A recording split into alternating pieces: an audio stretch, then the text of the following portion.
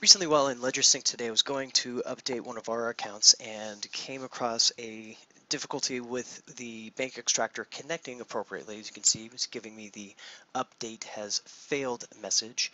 Um, knowing that there's so many changes going on with the different banks and, and how the connections are done, I decided I should go and take a look at my bank and see what was going on.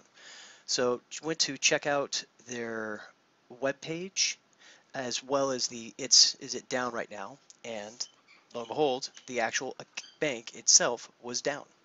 Zooming in here real quickly so we can see at the specific time of this video that this bank has been down for roughly 48 minutes.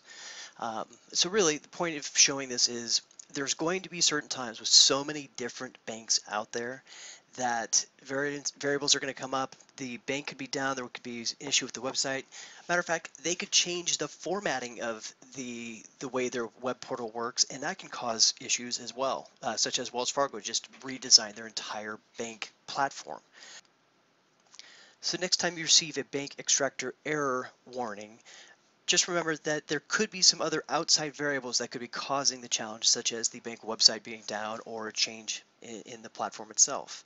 For us, uh, we've definitely found that the ability to gain the information is still so much faster than we ever had it before of trying to log into each individual bank to download the information and download the check images. We still save a huge amount, amount of time.